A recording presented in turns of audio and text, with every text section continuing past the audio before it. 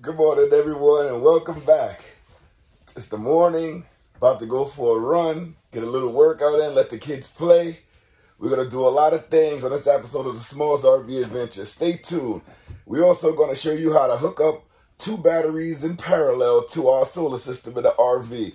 But for now, I have to get up, do my morning hike before breakfast. Y'all ready to come with me? Yeah. All right, all right, let's go.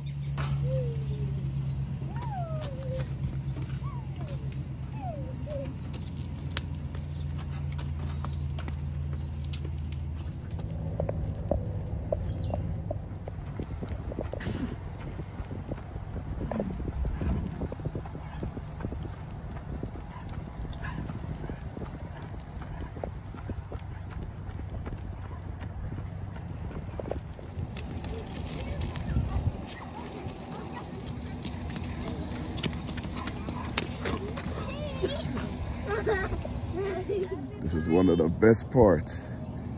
We getting up early. It's no sunset because it's cloudy, but we up early before everybody gets up, running around, enjoying everything around here. Love to start the day with a little run, little workout, little minimum activity, but anything is good. What did they find over there? Matt can't go inside. There's a sign on the gate that says dogs not allowed, and he's pulling the heck out of me. He is strong.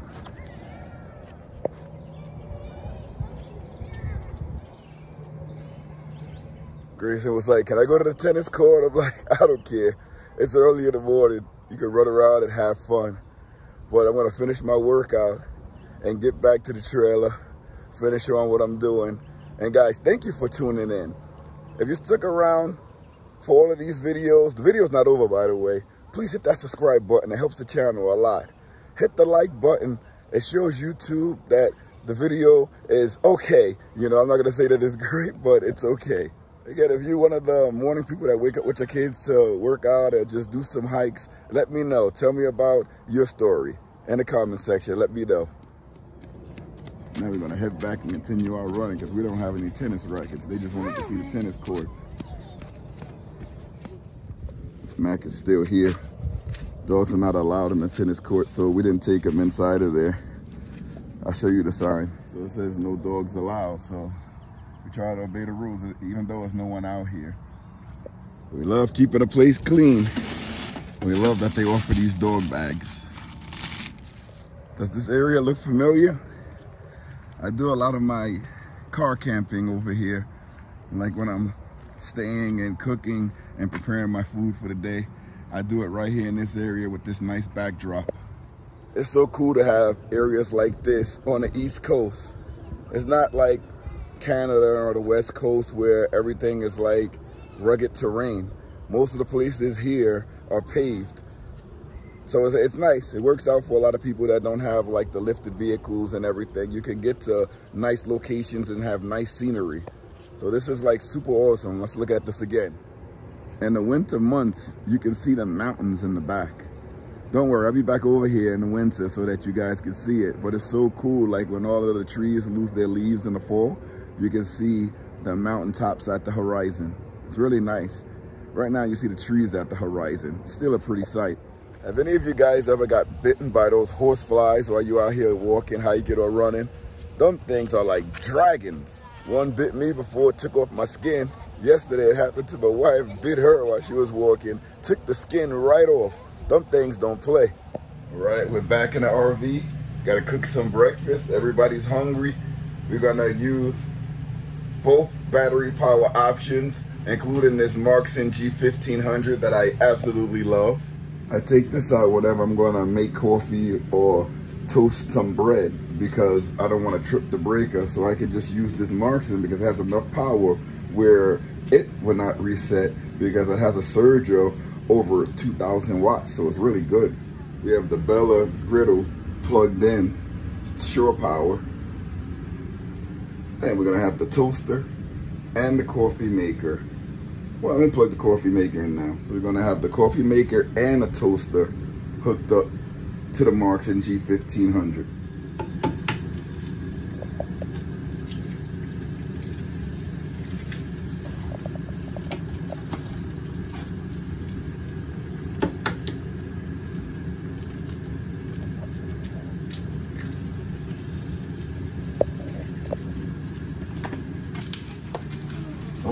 because they need everybody else. They they outside playing. So she has to get her cereal too. Had this little bag waiting for her.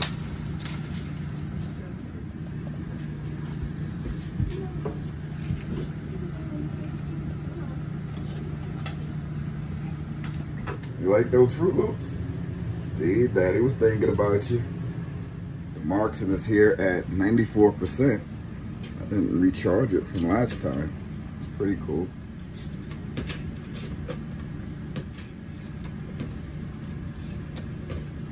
See how much this moves up. Woo! 2040 for the both sides there. That's a lot for this toaster. What's crazy is it's staying at 2,000 watts.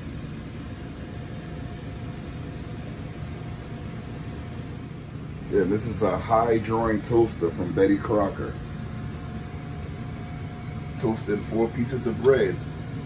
It's going over 2,000 watts. Well, it went down now, 1,400. Pretty cool. But that surge lasts a long time. Eggs are cooking up nicely. Turn that up just a little. I love having these electric griddles. These things work great on the power stations too. That's one that popped up. Oh, fire alarm. RV problems. Well, both pieces came up. Woo! We had that up a little bit too high, but we like it like that. Let's do our coffee now. Always get one really good.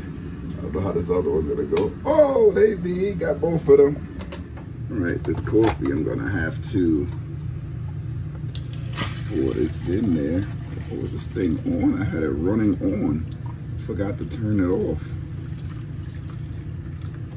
Turn it off now. I have the coffee maker on and the toaster. Goes to show you how good this battery is. I had the coffee maker on. I just unplugged it from the last time and I had the toaster on and then this Marxon was able to handle both the coffee maker and the toaster. If I tried to plug that into the RV by itself, it would have popped the circuit breaker. No problem right away. Right now, let's turn this back on. You want to see the drawer. So this has a drawer of 600 watts. Hopefully I didn't break that coffee maker having it on that whole time. We'll like some cheese on top of that. There's the second slice. Cheese it up, that's the way to go.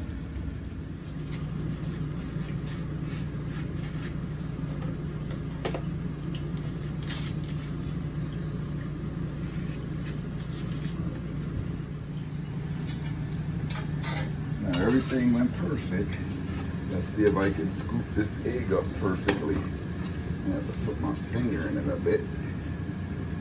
Bam, that's one right there. Nice and tasty.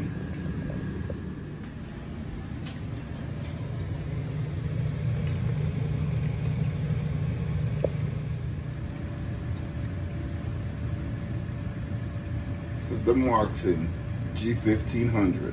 And just like that, breakfast is served.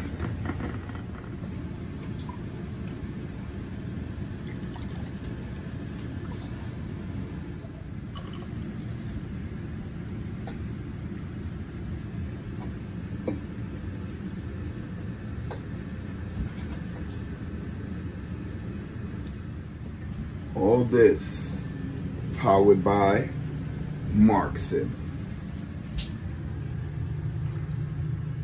I'm gonna enjoy this. Mm. That came out really nice. I like having a banana too on the side. Fresh bananas. Mm-mm-mm. Don't mind that. Mm. That's the fridge. It does that from time to time when the power is going down. Just to let me know that the power is going down, but it's fine. Everything is frozen inside. Mm -mm -mm. Good. I'm gonna finish this we're gonna continue on our day. This is something you also have to try. Bananas on toast, buttered toast. Oh my God. Sometimes you sprinkle some sugar on top, absolutely gorgeous.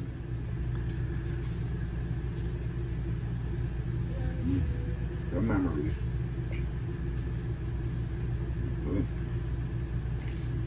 Mm. Good.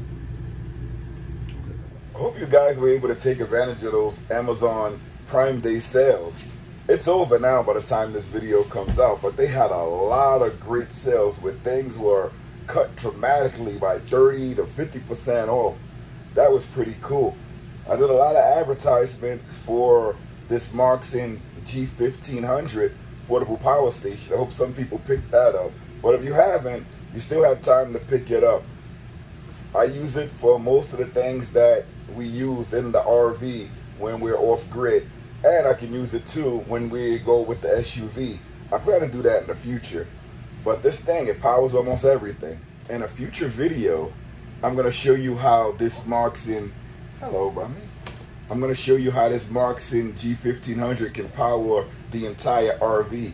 It's pretty cool because with its surge capacity, it can hold over 2,000 watts for a long period of time. So we're gonna run all of these cool hydro tests we're gonna see to show you that the microwave comes on and works. We're gonna try to run the fans and the AC. The AC is the biggest kicker, but you don't know how long it will last, maybe 40 minutes to an hour, because that's a big draw. Every time you have like something like 2,000 watts, it's gonna last less than an hour continuous if you put it on the Marxon.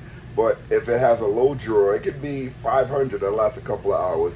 But most of the things you use in your RV are really not high drawing things. Like the TV is only 40 watts. A radio is like less than that. If you're charging your cell phone, it's only like 10 watts. The refrigerator, 12 volt fridge, when the compressor is activated to keep it cold, that's only about 40 watts. But it comes on and it goes off. It doesn't. What are you talking about? He's over here singing into the phone. You want to say something? Now she's shy. But yeah, the compressor only kicks on a little bit and then it goes off. So it doesn't take up much power. In fact, I'm gonna show you guys the, the battery system that we hooked up in parallel. We're gonna make the terminal connections just to connect the two batteries together in parallel.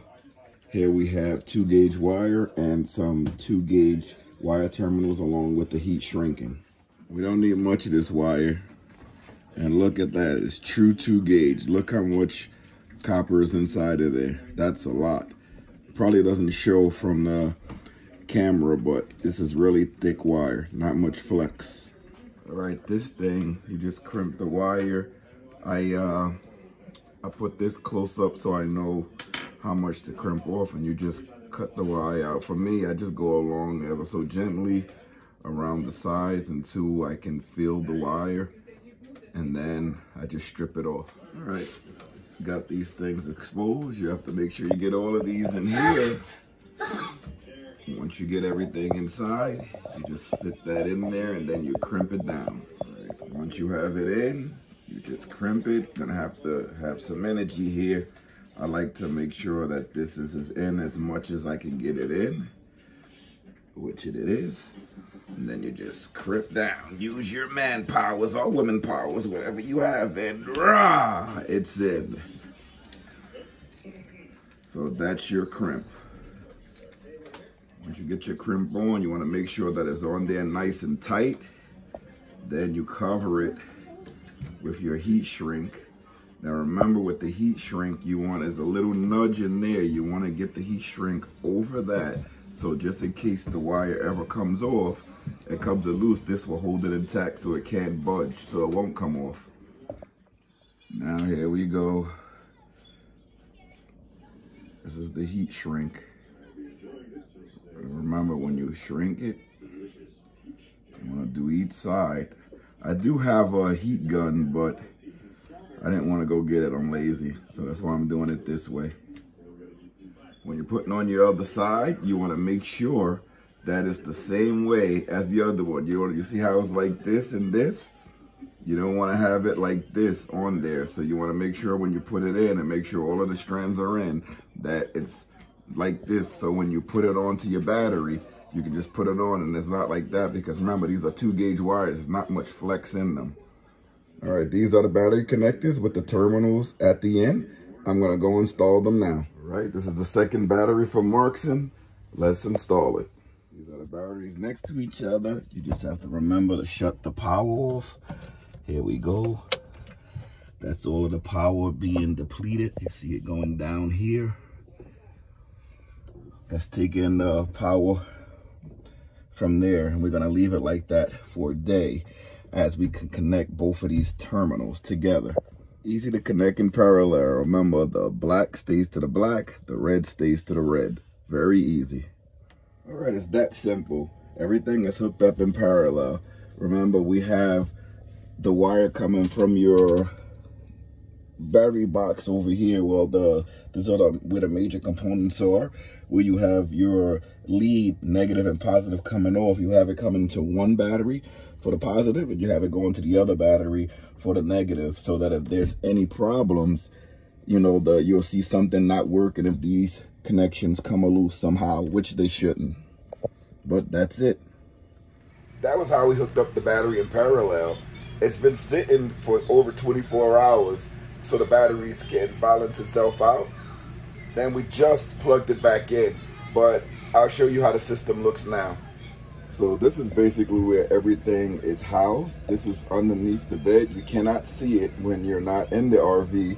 This is where we store our Marxon portable power station, the G1500. And these are the two Marxon gel batteries hooked up in parallel. We let it sit for 24 hours. Here's the NOCO charger and here's the inverter. Everything looks all jumbled up in here, but it's all working fine. These wires are what you don't see. I'll show you what you do see when you're in the RV. So again, as you come into an RV, you're not gonna see any of the wires because it's housed under the bed. We have our plug socket there that's hooked up to the inverter. And then as I showed you last time on the side of the bed, here's where the 12 volt plug and the USB outlets are. There's no wires to be seen. And then there's a NOCO battery charger. You can't see it, I just point to it. It's on the side of this fridge, but you can't see it. And that's how we keep the batteries charged when we're on shore power. So far, the setup has been working out. And I check it every time we stop somewhere when we're on the road. I'm going to show you guys in a future video how you can hook this system up under the bed to power your whole RV. It's the same as the portable power station, the way that that works. It works the same. I make sure it in the same video or another video, but it won't be this video. All right, this video is getting a little bit long. I'm gonna let you guys go here. Check out our next video. I'll probably be showing you how to hook the portable power station up to power everything in a rig. I'm also gonna show you again how we can use our battery system that we have installed under the bed to power everything in the rig. It is so cool. And I'm still adding things to the battery system. I'm waiting for some things to come in the mail to make it more better. And again, I'm showing you guys easy step-by-step -step things to do. Save you guys some money while you're doing it in the process of this lifestyle. And continue, please, watching the videos with the SUVs and tent camping. We love it. And I'm happy to have you guys go through this journey with us. It just makes me feel really grateful and appreciative of you guys because if you guys wasn't watching, I wouldn't have the channel. So thank you so much. And make sure, please, to subscribe and hit the notification bell so you know when we put up new videos. You try to talk and say what I'm saying? Yeah. Yes. All right, guys. See you later. Bye. Bye.